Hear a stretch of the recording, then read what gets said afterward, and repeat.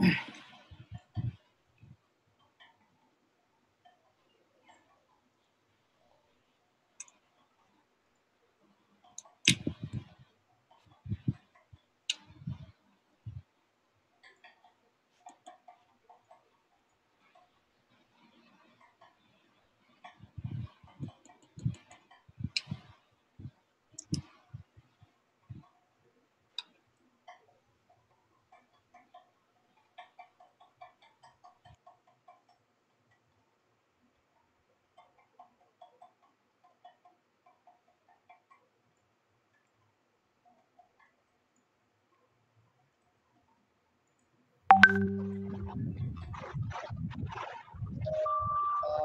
Good evening to one and all.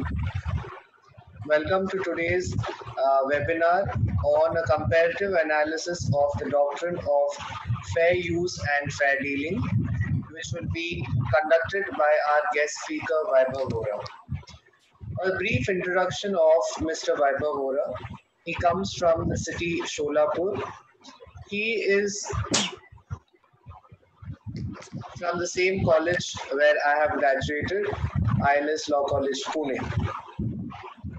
Subsequent to his completion of law, he went to pursue his LLM in the United States of America. There, he had worked as a law associate in the top tier law firms like K&L Gates, Diago.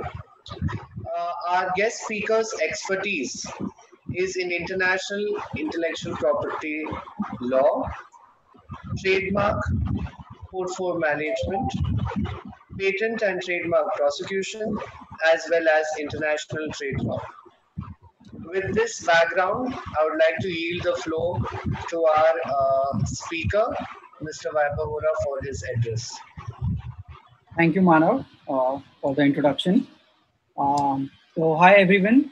Uh, I will I welcome you all to this webinar for uh, today evening.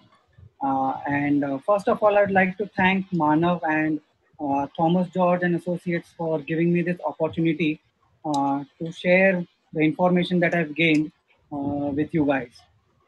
it's a privilege to be doing this amidst the ongoing pandemic of COVID. So the topic for today is the doctrine of fair use and fair dealing under copyright law. And uh, we are uh, going to do a comparison of the doctrine of fair use in the US and the doctrine of fair dealing in India. So, uh, we all have been seeing a lot of parody videos that are being posted on uh, YouTube and Facebook these days, uh, and a lot of uh, memes that are posted on Insta, where one person is commenting and critiquing on other person's work and also uh, you might have seen a scoop of a video that has been posted online so ordinarily these acts would amount to copyright infringement. That is because uh, copyright gives the owner an exclusive right to prevent a third person uh, from infringing upon his work. However uh, under the copyright regime uh, there is an exception to such kind of an infringement uh, which means that a third person or a random person can use some part of a copyrighted work uh, without being liable for infringement. So that exception is called as the uh, defense of uh, the doctrine of fair use. Um, so uh, I'd like to start with, uh, uh, can you please change the slide, Manav? Right. So let us begin with what is fair use. So in the most general sense, the term fair use means the act of copying a copyrighted material for a very limited and transformative purpose. So what uh, fair use tries to say is that uh, certain acts of copying shall not amount to copyright infringement if they are used for the purposes of commenting, uh, criticizing, researching, etc., etc. So uh, some of the examples of uh, uh, fair use would be where you are quoting, quoting an excerpt from a book in your own article just to review or uh, to, you know to criticize or comment it or uh, when you make a parody of somebody else's work just to mock that person or uh, when you use sound clips and uh, video clips in your own work uh, or in your own presentations for the purposes of teaching and reporting Uh, so uh, a real life example would be uh, those images of Donald Trump that are used to make cartoons uh, just to mock him. So all these acts would technically uh, fall within the purview of uh, the doctrine of fair use. Now, what is its origin? How did the law come into existence? So surprisingly, the doctrine of fair use is, is a hundred-year-old law.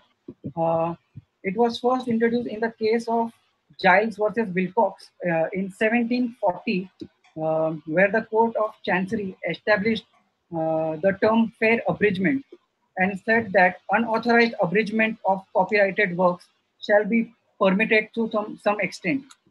So, uh, what they tried to say is that uh, unauthorized copying of copyrighted works shall be permitted to some extent. That, that's what they were trying to say that you can copy some amount of work from a copyrighted work and that would not be copyright infringement. So that doctrine of uh, fair abridgment is what later developed uh, into uh, the doctrine of fair use and fair dealing. So uh, what was the policy behind uh, enacting such a law? Why did they bring fair use into existence? So the main policy, the main intention was to create an economic equilibrium. So what they said that they wanted to promote the progress of creativity as well as protect uh, the copyright owner's interest. So what they said that uh, the general public should also benefit uh, from the copyrighted work of a person, as well as there should be a layer of protection uh, for these uh, for the for the copyright owner. So that was uh, their intention to maintain a balance between the interest of the public and the interest of the copyright owner. Manav, next slide. So, what are some of the purposes that fall under the fair use doctrine? So, if you use a copyrighted work for the purposes of teaching or research or news reporting or one of those uh, purposes that are mentioned in this list, uh, then you can uh, qualify for the defense of fair use. However, uh, if you use a copyrighted uh, material for the purposes of making money out of it or for a commercial purpose, or, uh, or you use it in a bad faith just to defame the copyright owner, or uh, where you don't give credits to the uh, real author, then you shall not qualify for the defense of fair use. Next slide. So, uh, what is the position of uh, fair use under the US copyright law? The term, uh, the section 107 of the US Copyright Act mentions the term fair use and says that uh, some acts of copying shall not amount to copyright infringement if they are used for the purposes such as criticism, comment, news reporting, uh, teaching, scholarship, or research. Now, uh, for this section, I would like to bring your sorry. Right. Uh, so for this section, I would like to bring your attention uh, to the words such as that that's mentioned in the section. So the reason, uh, only reason the words such as uh, were mentioned because the lawmakers did not want to restrict the list of purposes that would constitute fair use. So they, what they intended was that there could be purposes other than the one that are mentioned in section 107 that would amount to fair use. So uh, section 107 has always been considered to be very broad uh, and open-ended because uh, they, they have not kept it restrictive and ex exhaustive. So they have always said that uh, there could be other purposes that would uh, amount to fair use. And uh, whenever a case of fair use comes to the US courts, they always apply section 107 on a case by case basis. Because the fair use doctrine is an open-ended doctrine and it's a very broad, broad and interpretative doctrine they always evaluate the case on a on the basis of facts and circumstances. So that's why uh, it's always uh, the U.S. courts have always considered the fair use to be a very uh, broad doctrine and all. Uh, also, Section 107 is uh, applicable to all kinds of copyrighted work. So basically, the defense of fair use can be claimed for any kind of copyrighted work. Uh, next slide. So uh, initially the term fair use was first used in the US statute in, 18, in 1869. Uh, in a case called as Lawrence versus Dana. However, uh, the concept was initiated in 1841 in another case called as Folsom versus Marsh, uh, which is a very landmark and famous judgment um, in the US copyright law, uh, where Justice Story, uh, the judge, uh, he, he enumerated four factors uh, that could be used to determine if a use is a fair use or not. So those factors are mentioned here. So whenever a case of fair use comes in, uh, the judge or the courts, they always uh, examine these four factors before giving a judgment. So the first factor is the purpose and character of your use. So whenever you are claiming the defense of fair use, the court is going to look whether uh, look at the purpose of your copy. So the court uh, determines whether your use is uh, commercial or non-profit, and also if the use is transformative. Uh, this particular factor is also known as the transformative factor. Um, I'll, I'll, explain why it's called transformative factor uh, in a bit. So uh, the main reason for considering this factor is the court will always look if you are trying to make money out of this factor or not. So if you are using it for a commercial purpose, the court is not going to uh, give you the defense of uh, fair use. Uh, coming to the transformative purpose, uh, for this particular factor, the court examines if you have used the original work to create something new out of it. So uh, say the, for example, uh, if an artist were to take a portion of another artist's copyrighted image and he uses that same portion in his own image uh, just to make a commentary on it, that would amount to transformative purpose. So uh, basically the court always looks that if you have created something new out of the original work, and uh, while determining this factor, uh, the court always asks two important questions. Whether has the material that has been taken from the original work been transformed into something new and uh, was value added to the original work by putting some kind of a new aesthetics, new insights or something like that, which makes it into a new work. So these two questions are always asked by the court when they are uh, determining the purpose and character of your work. The second is the nature of the work. So the court shall also consider the nature of the uh, work that has been copied, uh, whether the work has is a factual work or a fictional work. Uh, usually, if the copying is done from a fictional work, then the defense of fair use is not awarded. Uh, it's only awarded when the copying has been done from a factual work. In addition, uh, the court will also consider whether the work is published or unpublished work. Whenever the work is published, uh, that means the work is already in the market. So when you are copying from a published work, then the uh, then the defense of fair use is applicable. However, when the uh, work is unpublished, uh, then there is a there are the, the, chances are very less that they will uh, award you the defense of fair use because the right to control the first public appearance is with the uh, is, is, with the owner of the copyright. So say uh, you are copying a song from a movie uh, that is not released, then the defense of fair use shall not be applicable to. The third important factor is the amount and substantiality of the work that has been taken. So whenever you copy a copyrighted work, the court is going to consider the amount, the proportion of the work that has been copied. So uh, they will look at the quantity of the work that you are uh, that you have copied from the original work. Say you have copied around 30, 40, or 50 percent of the work, then the defense of fair use shall not be awarded. Uh, because the logic is the less of the work you copy, the more are the chances that you can claim fair use. However, if you claim a lot of, uh, if you copy a lot of the work, then um, there, there's a high chance that uh, the courts are not going to take it as a fair use. Apart from looking at the quantity of the work, the courts also look at the quality of the work that has been taken. So in this particular factor, uh, say if you have copied one of one, uh, some other people's work, the court is going to look at the quality of the work that has been taken. Uh, for example, uh, there was a Charlie Chaplin video, uh, which was a total of 72 minutes. And one another person, we copied only one minute and 15 seconds of the video. Now that is actually a very trivial copying. However, the court said that the, the quality that was copied was actually the heart of the work. So that, that means that the crux of the entire work was copied in those 1 minute and 15 seconds.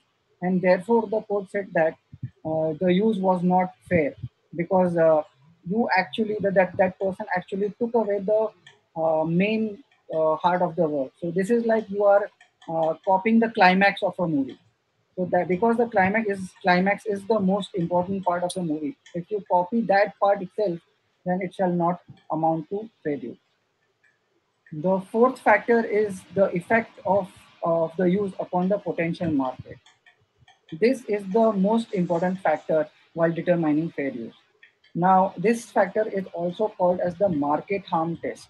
So when a person copyrights his work, his intention is to gain a monopoly on that work and to make money out of it. So what the US courts say that if the copying of your work hampers the monetary value of the original work or undermines the potential market of the copyright owner, then your use shall not be uh, fair use. Uh, that is the reason a lot of uh, cases when they come to the US courts, uh, the court always gives a lot of weightage to this factor. They'll always see if this factor, uh, if the if this if the copying of the work is uh, hampering the val- uh, the monetary value of the copyright owner. So that this this factor has been uh, considered to be one of the most important factors in the fair use doctrine. So let's take a look at what is the position of uh, fair use uh, in international law. Manav, can you change the slide? Yeah. So uh, the doctrine of fair use has uh, been incorporated into most of the international laws. So as you can see, Article 9 of the Berne Convention and Article 13 of the TRIPS Agreement, they state that member nations shall provide an exception or a limitation to the exclusive right of a copyright owner. They, uh, all the members shall have exception mentioned in their copyright legislation against the exclusive right of a copyright owner. Apart from uh, Article 9 and Article 13 of the TRIPS, Article 10 of the WIPO Copyright Treaty also mentions that member nations shall provide an exception to the exclusive right of a copyright uh, owner. So uh, all these uh, international uh, laws, they say that the member nations are supposed to have an exception, a mandatory exception to the exclusivity of the copyright uh, that a owner gets under its copyright law. Now, uh, fair use doctrine is considered to be the most fairest of all doctrines because it has been crafted keeping the TRIPS agreement and the Berne Convention in mind. So fair use doctrine is the most, uh, you know, most in compliance with the TRIPS agreement. So it has been considered to be the most fairest of doctrines, and all other countries have usually crafted their uh, uh, their fair use defenses uh, on the basis of fair use doctrine. Uh, next slide. So, uh, what are some landmark cases on fair use? The first one is called uh, Leibovitz versus Paramount Corp. Uh, as you can see the photo on the right uh, is of actress Demi Moore. Uh, so there was an actress Demi Moore. She had a photo shoot when she was eight months pregnant back in 1993. So what Paramount did is uh, they photo edited the same photo. They used her photo and uh, replaced it with the face of another actor called as Leslie Nielsen uh, to promote their movie called as Naked Gun that was supposed to release in 1994. So uh, a suit of copyright infringement was brought against them. However, the court held that this was a pure case of parody. Just like I said, um, a lot of people they use uh, images of Donald Trump to create those kind of uh, meme photos. So just to mock him. So this was similar to that, and the court also had that uh, held that the use of Demi Moore's photo did not harm the potential uh, potential markets of Demi Moore. So they took the fourth factor into consideration and said that the use of the photo was not undermining the monetary value of Demi Moore. So that's why they they said that this is a pure case of uh, parody, and uh, they they allowed they awarded the uh, defense of fair use to Paramount. The second important case is the case of Sony Corporation of America versus Universal uh, City Studios. So this case is also known as the Betamax case. Back in the 1990s, uh, Sony had developed VCRs. Uh, as you guys might know, VCRs are visual cassette recorders. So uh, what a lot of people did that time was uh, they used the Sony VCR to record uh, shows that were broadcasted on the television. Now these shows, they belong to Universal City Studios. And uh, just like we do it on our set-top box these days, we record the shows that we like so that we can watch it later. So a lot of people were doing the same thing back then in 1990s. So when Universal City came to know about this, they brought a case of infringement against Sony. Now what the court held is that all of these people who were recording uh, the, the shows using the VCR, they were doing it for their own private purpose. So they said they, they applied the first uh, factor saying that the purpose was completely non-commercial. They were not making any money out of it. And they were only doing it because they wanted to maybe watch it at a later time. So the purpose and use were completely non-commercial. So that's why the court held that there was no case of uh, copyright infringement and uh, they allowed the defense of fair use. Another very important case is the case of Lenz versus Universal Music Corp. So uh, there was one lady called as Stephanie Lenz, uh, and she had a kid. So one day her kid was dancing and she recorded that video and she put it on YouTube. Now the total length of the video was 29 seconds, out of which the first nine seconds, there is a music that is played in the background. That music was a song called as Let's Go Crazy, which was owned by Universal Music. So a suit of, in, again, a suit of copyright infringement was brought against Stephanie Lenz. Now, apart from the four factors that have been mentioned in Folsom versus Marsh, there is one fifth factor, which is called as the defense of de minimis. So what does de minimis mean? De minimis means trivial. So whenever the copying is of a very trivial scale, so whenever you uh, the copying is of a very small amount, uh, the court is not going to consider the fair use analysis altogether. So say if you are copying only 30 seconds of a three hour movie, the court is going to consider that the use is so trivial that they are not going to consider it as any kind of infringement. And it is also not going, and the courts are also not going to apply uh, the four factor test to determine if it's fair use or not because the copying is so trivial. So in this particular case also, the courts held that the copying was so trivial that it they did not apply the fair use analysis. They, come, they directly said that uh, you know what, the copying is very small and this should not amount to any kind of infringement. So again, in this in this case also, Stephanie Lenz was given uh, the the defense of fair use, and she was not made liable under any kind of under copyright infringement.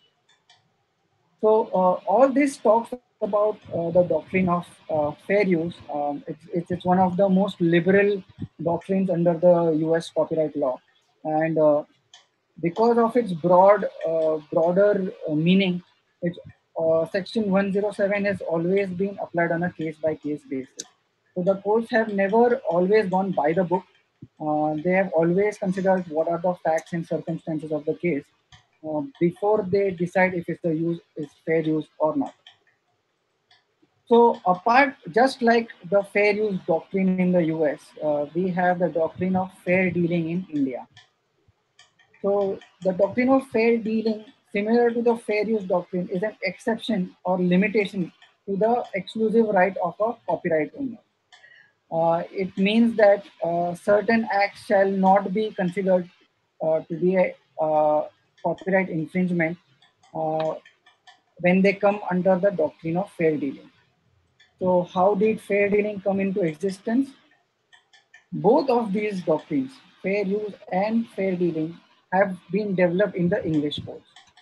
So the term fair dealing was statutorily introduced in 1914 as a mere duplication of Section 2 Clause 1 Clause I of the UK Copyright Act, uh, which stated that certain acts shall not, uh, certain acts of copying shall not constitute copyright infringement if they fall within the purposes of private research, study, review, or newspaper summary. I'll discuss this in brief uh, a little later. Um, but what was the policy of uh, bringing fair dealing in India? Again, just like the US fair use doctrine, their idea was to promote, uh, to prevent the stagnation of growth of creativity and at the same time uh, give some kind of protection to the copyright owner.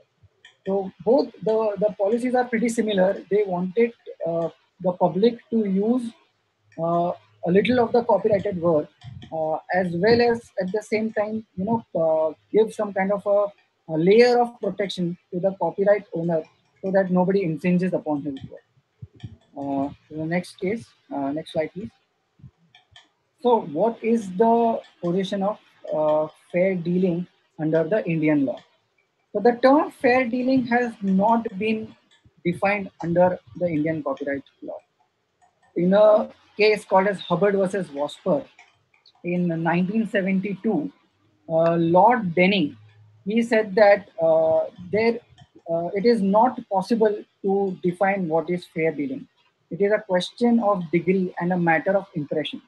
So because there are no set guidelines and the quantum is not provided, it is not possible to have a clear and uh, definition of fair dealing. Section 52 of the Indian Copyright Act deals with certain acts as acts not to acts not to be infringement. So it says that certain acts shall not be copyright infringement if they fall uh, within the pur purview of fair dealing. So uh, it lays down fair dealing as an affirmative defense to copyright infringement. So let's have a look at section 52 uh, in the next slide. So section 52 of the Indian Copyright Act lays down the groundwork for fair dealing. Uh, the concept of fair dealing is one of the most least explored areas in the Indian intellectual property law as compared to the uh, US or as compared to the Western countries, the doctrine of fair dealing is still in the development stage. It has not completely evolved as much as the fair use doctrine in the US. It's still in the nascent stage and is being developed. So uh, section 52 says that uh, some acts shall not be considered uh, to be copyright infringement if they fall within the purposes of private personal use, including research, criticism or review, or uh, reporting of current events and affairs. So section 52 lays down uh, certain purposes uh, under which an act shall not constitute uh, copyright infringement. Um, so it's, it's basically as compared to section fair use doctrine, uh, as compared to the fair use doctrine, uh, if you remember, section 107 has the words such as. That's because section 107, the lawmakers did not want to restrict the number of purposes. However, under section 52, the list of purposes is exhaustive. It is very restrictive. So if your purpose does not fall within the ones that are mentioned in section 52, then you are not going to be awarded the defense of fair deal. Also, overall, section 52 lists down around 40 types of actions which are fair dealing. So if supposedly you are copying somebody else's work and your use uh, does not fall within one of the 40 types of actions that, has, that are mentioned in section 52, then you are not going to uh, be awarded the defense of fair dealing. So it's a very restrictive and a close-ended section. Uh, you uh, usually uh, the stat uh, in, in, in India, the defense whenever a case of fair dealing comes in, the court always goes by the books. As compared to the US courts, they always look at the facts and circumstances of the case. In India, they will always go by the statute. So if the act for if if the act of copying falls within the purview of what is written in the book, only then they are going to award uh, the defense of fair dealing. So let's go to the next uh, slide. So what are the factors under fair dealing? Uh, similar to the US uh, uh, fair use doctrine, uh, there are certain factors that have been laid down to determine whether a use is fair dealing or not. So the first factor is the amount and substantiality of the dealing. Uh, just like uh, the US fair use doctrine, the court is going to look at how much of the work have you copied. So if you have copied a lot of the work, uh, substantial amount of the work, then they are not going to award you the defense of fair dealing.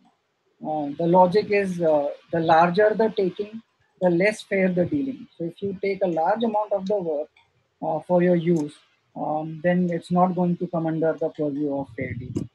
Secondly, they are going to consider the purpose, character, and commercial nature of the dealing.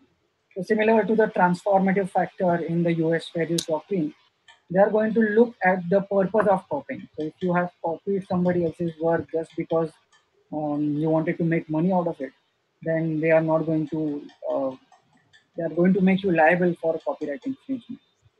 And also they are going to see if you have used the original work to transform it into something new. So this is similar to the transformative factor uh, that was laid down in Folsom versus Marsh by Justice Day. The third factor is the effect of use on the original work. Now, unlike the market harm test, uh, the Indian courts do not consider the monetary value. All they consider is, the, is there any likelihood of competition between your copied work and the original work. So it's going to see that uh, if you copy somebody else's work, what is the impact of uh, your use on the value on the original work? So it should not degrade the original work. It should not convey the same information as the original work. It has to be something new and it should not undermine the value of the uh, owner's uh, original work. So that's that's a, uh, that's a different factor from the market harm factor, uh, where they are just going to see if your use is uh, is uh, hampering the value of the uh, copywriting. So these are the three factors that are uh, mentioned under fair dealing. So let's have a look at the landmark cases on fair dealing. So uh, the first landmark case is uh, Civic Chandran versus Ammini Amma. This case is exactly similar to Folsom versus Marsh in 1840. That was that happened in 1841 where Justice Story laid out four factors that determine fair use. This particular case lays down three factors that, that is used to determine uh, if, a, if a work comes under fair dealing or not. So those three factors are the quantum and value of the matter taken. That is similar to the um, one we saw, the amount and substantiality of the work that is used. The second is the purpose for which it was taken. Then again, similar to the purpose and character of the word that is used. And the third, the likelihood of com competition, which means the, the effect of use on the original word.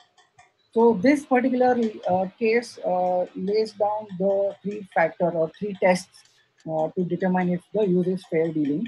And it's similar to the case of Folsom versus Marsh. Uh, the second case is uh, the case of the Chancellor, Masters and Scholars of University of Oxford and others versus Rameshwari Photocopying Services and others, also known as the DU photocopying case.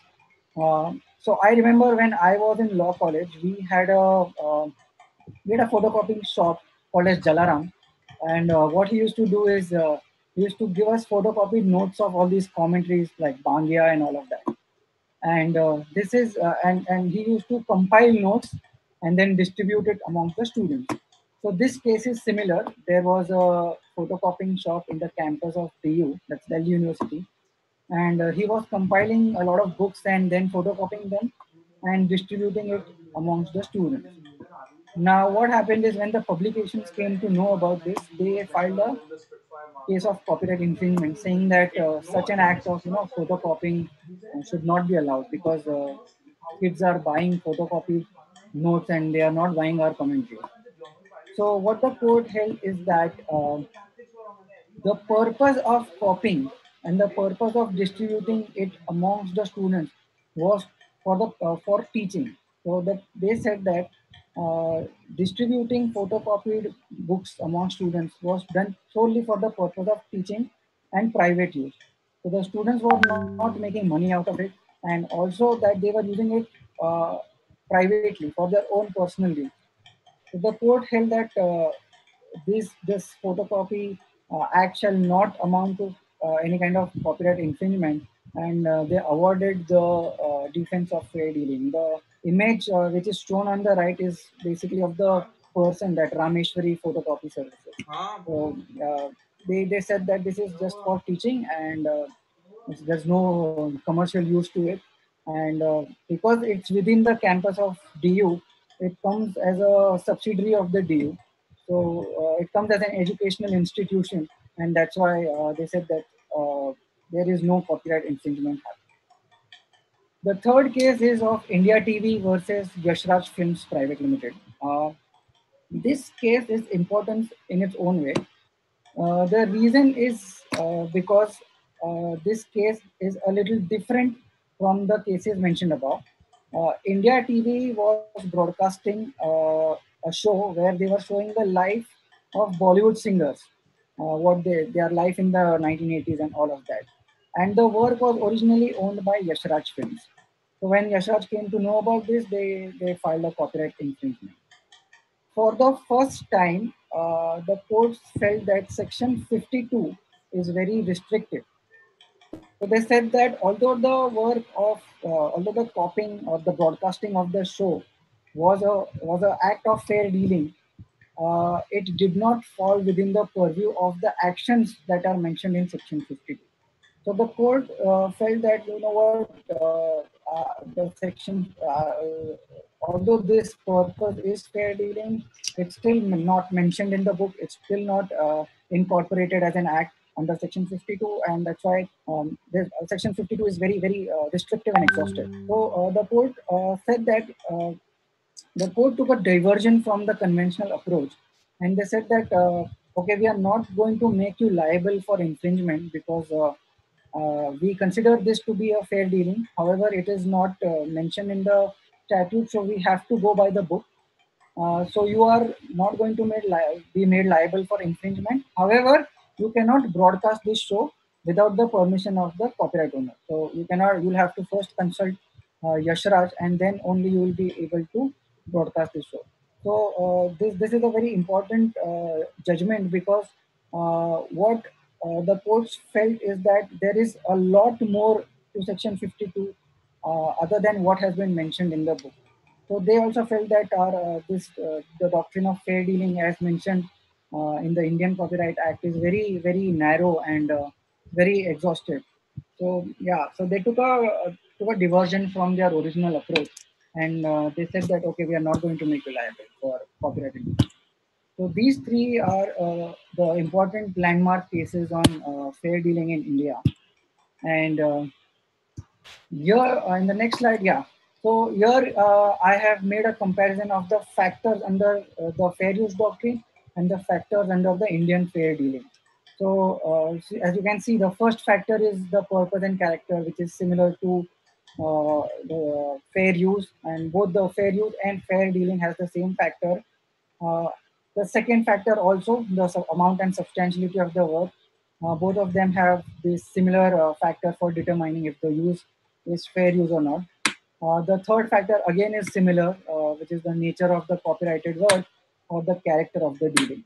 So uh, the first three factors are same uh, and are, it's, it's, common for both of the doctrines. So for fair use and fair dealing, uh, the factors of purpose, amount, and nature are similar.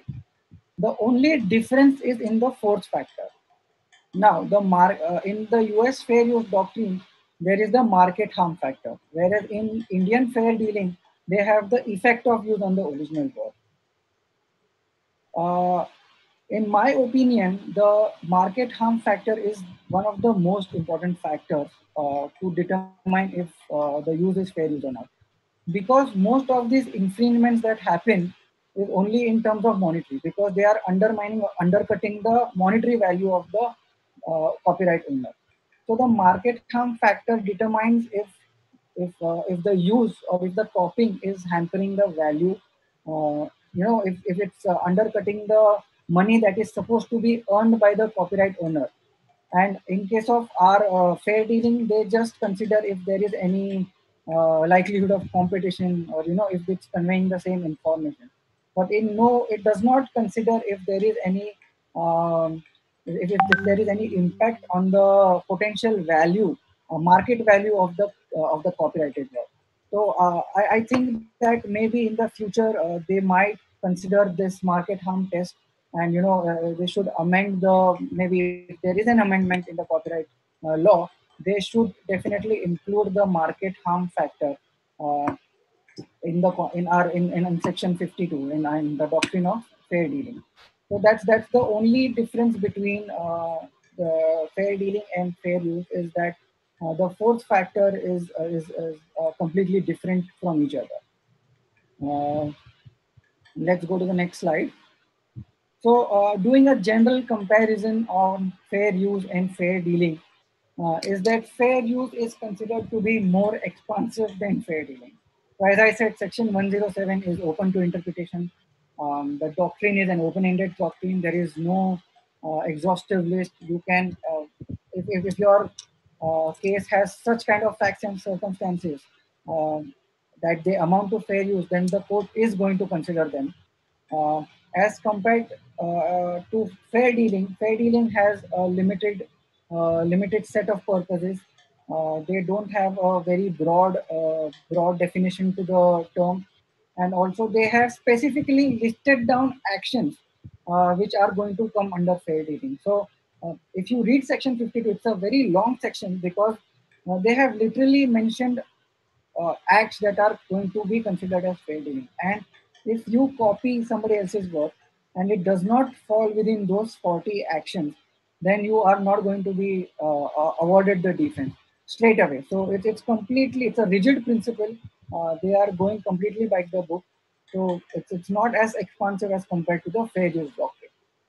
Secondly, fair use doctrine is based on utilitarian principle, which means that uh, they are they, they consider the benefit of the public and the benefit of the author both. They want the the public to uh, gain some uh, you know they, they want the public to gain some benefit out of the copyrighted work as well as they want the uh, they, they are uh, ready to uh, you know give some kind of a protection to the copyright owner. So it's it's completely based on a utilitarian principle and uh, whereas um, the doctrine of fair dealing is based on the natural law theory which means that the author is of supreme value so whenever a case of fair dealing comes in the court, they are first going to look uh, if there has been any kind of impact on the uh, on the uh, on the creation of the author.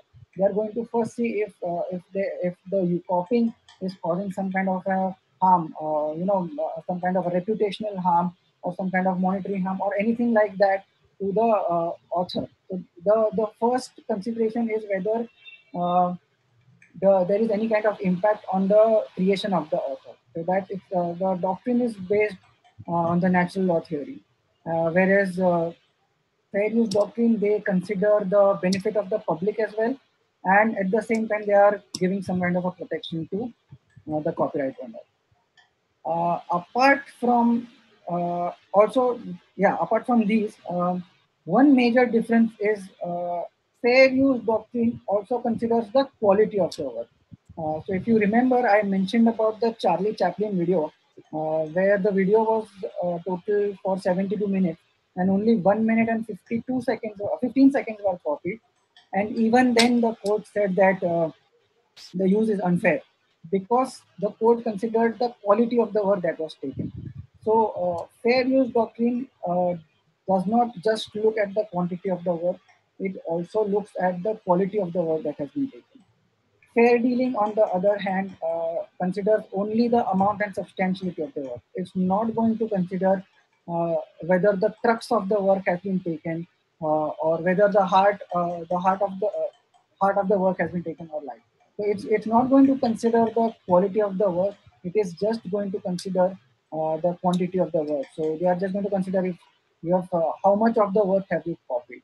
And uh, fair use definitely considers uh, if uh, if they have if somebody has taken the heart of the work or you know if they've taken what is the most important part in the video has been copied or not. So uh, fair use and fair dealing has this one important uh, difference of uh, considering the quality of the work. And lastly, uh, like I mentioned before, uh, fair use considers the market harm test.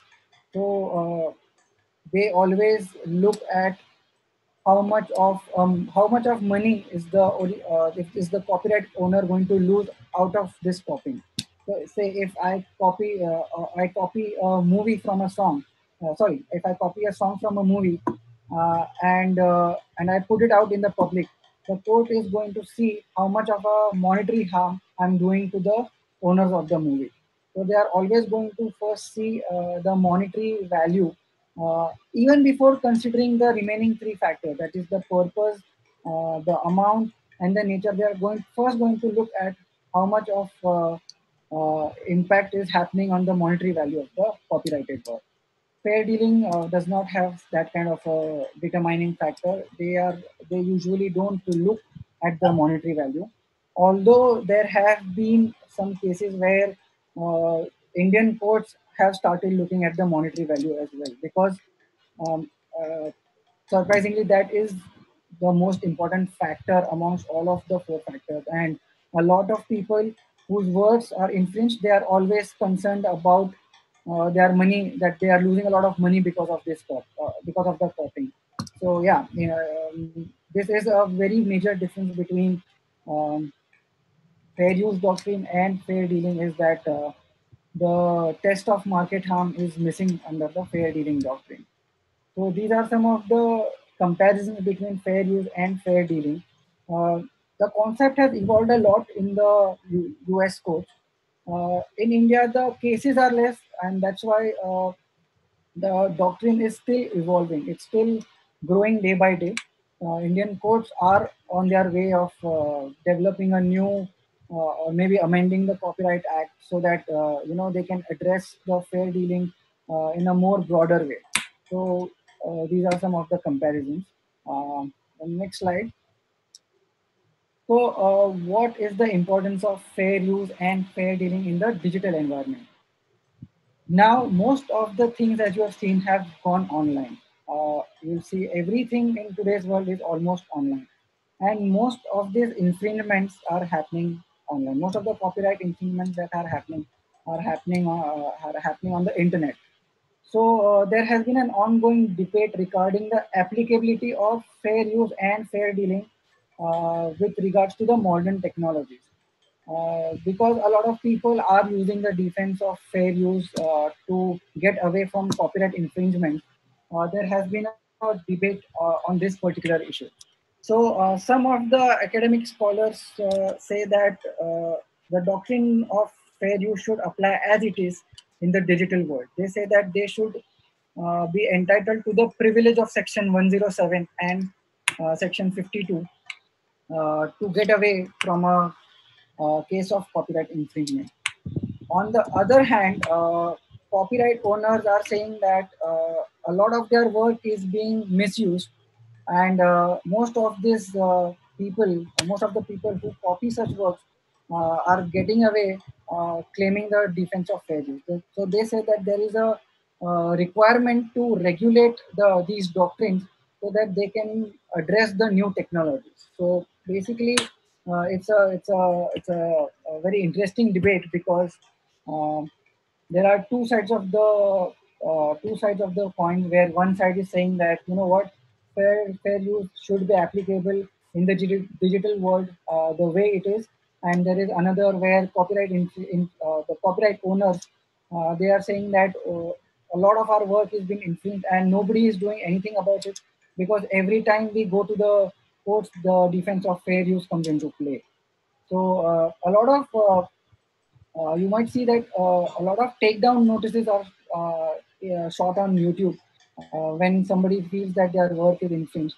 But most of these takedown notices are uh, are failing or are taken away. Uh, it's, it's not applicable because uh, the defendants always claim the defense of fair use. So that's why uh, uh, there has been a debate where people have been saying that you know what you should amend the doctrines of fair use and fair dealing so that they can address the the emerging technologies. So that's it all about uh, fair use and fair dealing. Um, I just have uh, one question for you guys. Uh, so does a reaction video on YouTube attract the defense of fair use? Uh, you must be seeing a lot of uh, reaction videos that are posted online uh, where one channel takes the video of another channel and they just put their reactions on it and they and they post it online and what has happened is these reaction channels uh, these reaction channels they are gaining a lot of uh, viewers and subscribers by using the copyrighted work of somebody else so uh, uh, you might know CarryMinati. Uh, he does a lot of roast videos. he uses the work of somebody else, and you know what? He, he puts a reaction and he puts a lot of criticism and comment on it. And there are also other channels who, you know, they, they just give their reaction on on on a on a particular video. So uh, I know of one channel. Uh, they always, whenever a new trailer of a movie comes in, so what they do is they just take that trailer and uh, they just give their reaction to it. So they are just going to, if it's a nine minute trailer, they are going to come take the whole nine minutes and they are going to put their reactions to it. So uh, my question is, does if if a case of infringement is brought against such reaction channels, can they claim the defense of fair use? Uh, and before you give your answers, uh, you should always uh, evaluate any case um, by the four factors that have been uh, listed in Folsom versus Marsh. So you should always consider if the amount and the work and uh, you know the nature of the work and uh, if there is any market harm that is being caused. So you should evaluate on those factors and then consider if a reaction video uh, can claim the defense of fair use. So um, I'd like to know your answers uh, to this. Um, maybe Manav, you can start with uh, what's your opinion on this? we would, we would like to uh, there's an intern Kirti. Kirti, would you like to answer, give an answer to the speaker? Hello, sir. Sir, thank you so much for a comprehensive explanation. It was really very insightful. Sir, to answer your question, sir, I think that since it comes under the uh, criticism word used in section 52, it should be covered and also because when you are using a reaction video, then in that reaction itself, we are giving credits to the owner. We are saying that this is the view video of this owner, and we are giving reaction to that. So credits is also given, right? Sometimes they just take the trailer, like they don't even care if credits are given or not. I know of one channel who who blatantly uses uh, uh, uh, the uh, another person's video and he just gives his uh, so CarryMinati, consider CarryMinati. He, whenever he does a roast video, he does not give any kind of credits to the uh, owner of the video. He just directly roasts that person. So what do you think should happen in that case? In case no credits are given to the author. I think included in 52. Sorry? Sir, I think since 52 has criticism uh, as a defense, as in if it's used for criticism, it will be included uh, as defense. But he's using the whole of his video, right? So if there is a new uh, new um, picture that is coming and they have a theatrical release on YouTube, uh, there are so many channels that uh, they directly take the whole of the uh, and they use it to give a reaction so wouldn't that uh, amount to using the whole of the work? Uh, the you know the third factor, the amount and substantiality. They are not using a part of the video; they are using the whole video to give a reaction. Is there anybody else who thinks that does a reaction video can claim the defense of fair use? maybe um, anyone would like to uh, share their views, you can unmute your uh, uh, your device and please speak up. Sorry?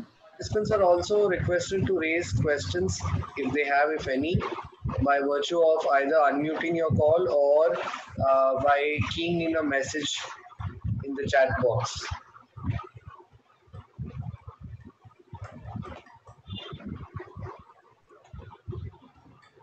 Uh,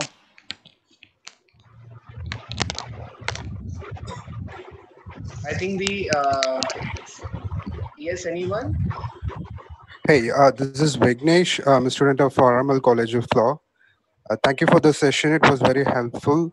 Uh, going back to your question, I think, yeah, they can take the defense of fair use in the reaction video case because unless and until they go through each and every second of the video and then play the whole video and then, you know, give their comment, maybe that, because you also mentioned about the quality of the content, right? How much of the quality content has been infringed. So I think that would be taken into consideration. But if they are randomly taking, uh, you know, some images, photographs out of it and then just criticizing that, uh, maybe I think they can take the defense of fair use under the uh, you know section 52, like parody, criticism, and review. Otherwise, we won't be able to do that at all, right? If that is stopped. So I Right. think they may be able to take the defense of fair use. Right. So, uh, so all of you are, act- yeah, yeah, Manav. Next, we have a question by Akash. Okay. Akash, could you Yeah, please? yeah. Yeah, th- thank you, Manav. Uh, Vaibhav, my question to you is Mhm. uh, now there is something known as uh, mischief under law. All right. right. Let's say to defeat the purpose of uh, you know attracting prosecution and for, for a fair use. Mhm. Uh, so can I can I say that just in order to play mischief under the law, let's say I take a 30 minute video in the background and I give my criticism, which is only let's say which lasts only about 30 seconds.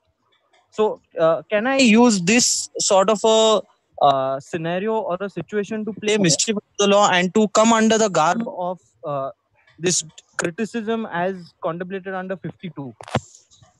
So, uh, when you are using say 30 seconds of the three minute video you said, so what what what's going to happen is uh, the courts are always going to look at they are they are going to evaluate it on a factor by factor basis. So, uh, in the purpose, character, and the nature of your use, the court is first going to look at the purpose of the use. So, say you have used the 30 seconds of the video, uh, and you used it and you posted posted it online, and you are making money out of it. So, what is going to happen is uh, the court is going to find that the purpose of your use was commercial. So they will see that uh, even though, say, supposedly you are not making money out of it, but it is still on YouTube and you are garnering a lot of uh, viewers and subscribers. So the court is going to look at the intention. There is a fifth factor, which is an implied factor. It's called as the good or bad factor. Uh, in this factor, the courts look at the intention of copying. So uh, it, it's it's an implied factor. It's not specifically mentioned, but uh, whenever such kind of a case comes in, uh, where the courts feel that the intention of the person was to uh, was to create a mischief, or you know maybe uh, defame the person or monetize on uh, other person's work, then they are going to uh, consider it as unfair, and that they are not going to let you get away claiming the defense of fair use. So the, the, good you asked this question because. I wanted to mention about the fifth factor, this good or bad factor, and there are a few cases that have happened in the US uh, where the courts, uh, after evaluating the first four factors, they still considered the motive of the person. So yeah, uh, definitely, in, uh, maybe in the Indian law you might uh, not be liable for copyright infringement because if it's not mentioned in the statute, then you are not going to get the defense. And if you are go, if, if, if it's mentioned in the statute and your act falls within one of them, then you are going to get the defense. That's the problem. That fair dealing doctrine is very rigid. So supposedly your intention is good or bad, but uh, the act is falling within one of those 40 actions, then you are going to get the uh, defense of fair dealing. So that's why it's still in the nascent stage. All right. Thank you so much, Vaibhav. Uh, we have another Hey, uh, question by uh, Ms. Bapat. Uh, she has answered your question firstly. Uh, if the purpose is for entertainment and not to infringe the right, then it may take the defense case her view. And uh, she would ask you to recall the first case that you have mentioned for the purpose of fair use, if it is not too much of a trouble. So the first case was of Leibovitz versus Paramount Corp. Okay. Uh, there, you know, there was an actress. Uh, there is an actress, Demi Moore. So what happened is there was a photographer, and he had a photo shoot with her when she was eight months pregnant, uh, back in 1993. Uh, Paramount Corp uh, they had a film that was supposed to release in 1994. So what they did is uh, they took Demi Moore's photo and put Leslie Nielsen, another actor, uh, and they put his face on her body, and they released it for advertisement. So what happened is when the suit for infringement was filed, the court said that even though it was used in an, uh, it even though it was used for advertisement, the use was non-commercial. So by releasing that photo uh, with uh, Leslie's face on it, they were not making any money out of it. And also at the same time, they they were not competing with Demi Moore. They were not harming her potential markets to gain money out of that particular photo.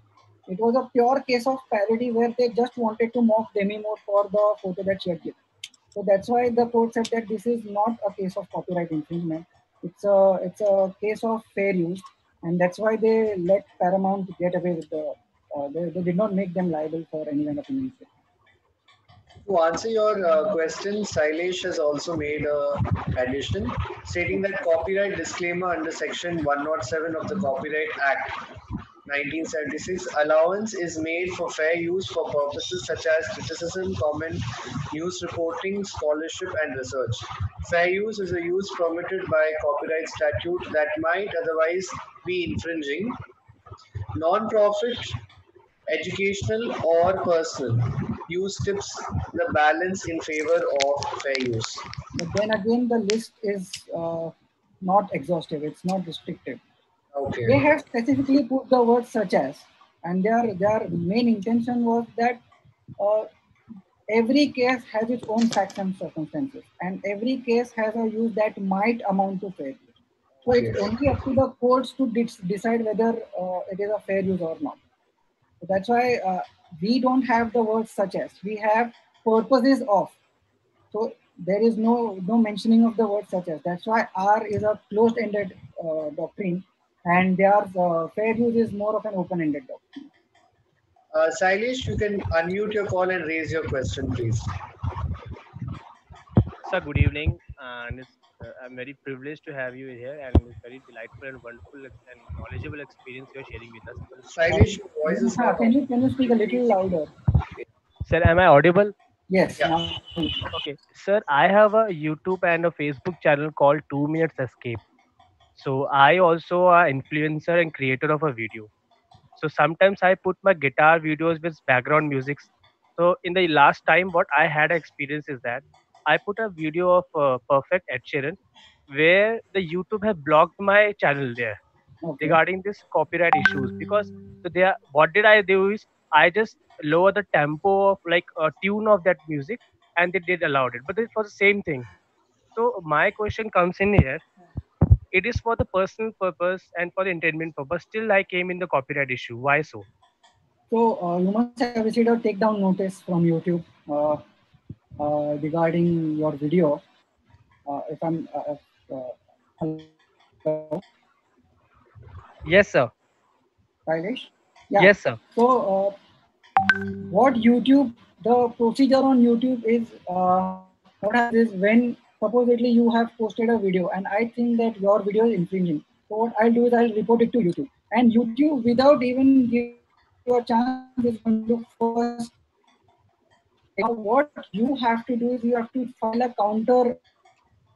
So in your counter notification, you are going to mention uh, that okay, my use is for the purpose. It, it is a fair use. I'm using it for my own purpose, and I'm not doing it to make money out of it. It's for my own private purpose, and also because the volume uh, is lowered down, you can claim the uh, defense of de minimis. Uh, as you remember, I had mentioned de minimis, which is trivial.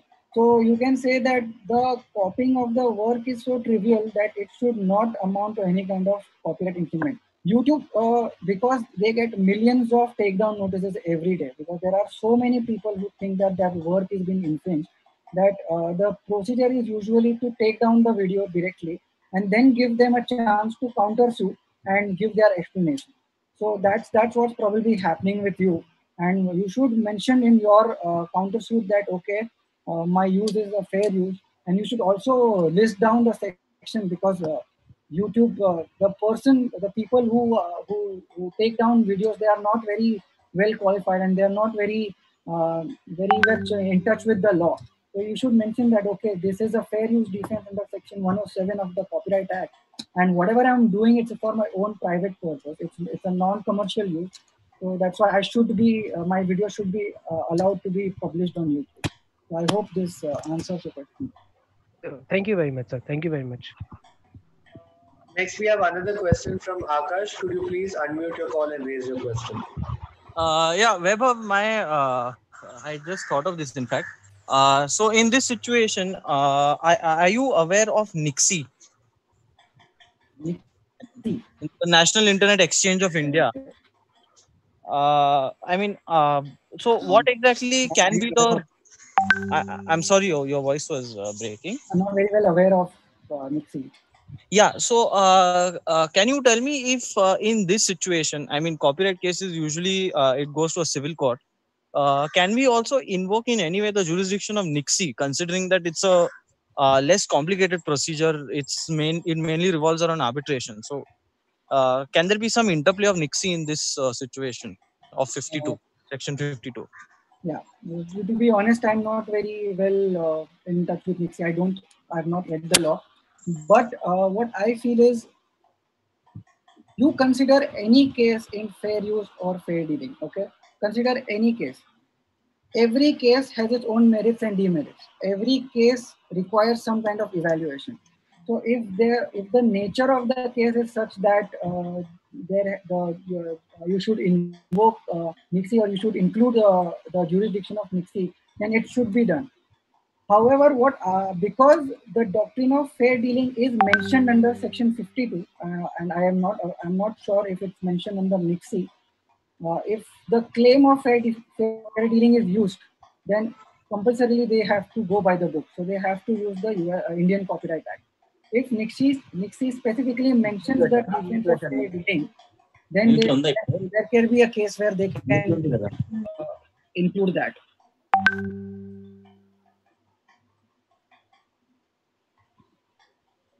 Manav, you are you are uh, you are muted. Uh, yes. Uh, next, we have a question by Kirti. You may please unmute your call and raise your question. So the first case that you landmark case of US that you explained of the photo shoot Paramount. So, so what I understand is that that American court focused more on whether the owner uh, was suffered any harm or not.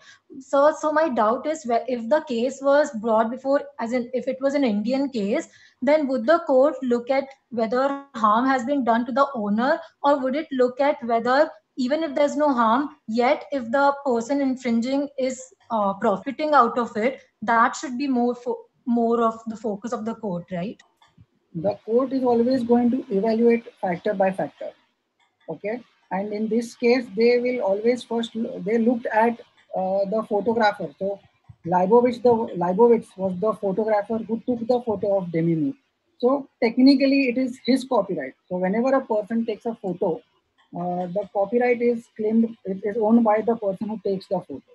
So in this case, uh, the court first looked at the market. So when Paramount published the uh, the photo edited uh, image of Leslie Nielsen, they were not trying to compete with Leibovitz. Neither they were trying to harm the reputation of Demi.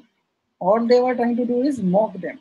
So uh, if they were, if they had released the photo in the same market, or maybe they have, they would have displayed it in an art gallery and sold the photo for some money, then that, that then that would be a problem. So they always first consider the market harm test in the US because that is the most important factor among all the four. And in this case, Paramount did it only as a promotional activity. They they were not trying to make money out of it. So because Naked Gun is kind of a spoof movie, uh, they wanted to mock Demi Moore. So that's why uh, the court said that it's it's parody and there is no harm to the photographer and Demi Moore, both of them. So that's why they did not make them liable for copyright infringement. The court is always going to evaluate factor by factor. So it, it's not going to. Uh, so whenever they, there is a case, the court first sees all the four factors, and amongst those four factors, the first thing they'll consider is market. So if they find that there is no market harm, because most of these infringement suits are only about money. that uh, the copyright owner always claims that I have lost uh, some kind of money because of this copying and all. So if they find that this is not happening, then they are going to uh, award the defense of fair uh, we have a query regarding in case you can share your email id for the purpose of further queries. Sure. Are there any other queries on today's webinar? Yes i have seen the uh, email id yes kirti you may please uh, uh raise your question. So one last question if you may. So so in indian copyright act there is also a provision that um, has intent as a defense, which is surprising because that is of criminal jurisprudence. So, so uh, my question is whether the American court also has um, such a such an outlook towards whether if the infringing person did not have an intent to infringe, would that be considered by the American? Because in India also would that be considered even though it's in the act? No, I, I, I personally think that uh, Indian, when, whenever a, a, case comes to the Indian courts, they just go by the statute. It's a very rigid doctrine. So uh, the fifth factor that I mentioned, the good or bad factor, uh, it's it's for the fair use doctrine. So in the US, there have been such cases where they considered the intent of the person. So whether it was uh, it, it was done in a good faith or bad faith. In India, it's purely by the book if it's mentioned, then okay. If it's not mentioned, then you are not going to be awarded. That's why they, in, in the case of India TV, uh, says Yashraj, their intent was not to make, uh, uh, their intent was not to make uh, money out of uh, Yashraj's video. They were trying to do a news reporting or a broadcast of the show where they were trying to display the lives of singers. So what the courts felt that although the intent was done in there was good faith. The intention was to do to be done in good faith, but it was not uh, falling within the purview of Section 52. So they, although they said that your dealing was fair, we are still going to consider this that uh, as, a, as unfair because it's not enumerated in Section 50.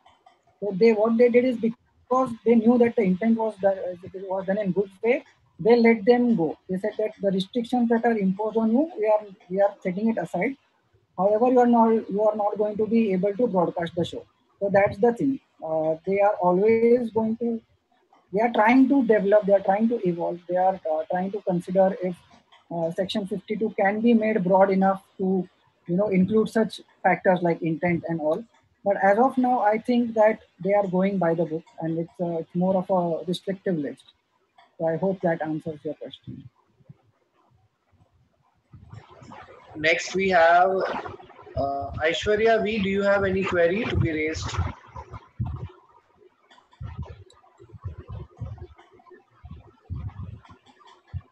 Yes, Aishwarya. Is there any query from your end? Okay. Okay, so that on that note, I would like to thank uh, Vaibhav for taking uh, time out of his schedule uh, to be present on today's webinar and he gave a very detailed webinar uh, for more than an hour. And I also would like to thank all the participants uh, for their patience. And the reason that I see a few number of questions from from the participants is because the amount of clarity that our speaker had uh, given us to the subject. So I'm deeply grateful to you, Vaibhav, for uh, coming and sharing your views on the subject today. Thanks a lot, Manav. Uh, and uh, I'm also grateful to our uh, participant, Mr. Anjania, who's uh, live streaming this webinar on YouTube. I shall be sharing a link to all of you all post today's session. Thank you and uh, have a nice day, all of you all. Thank you, everybody. Have a good one.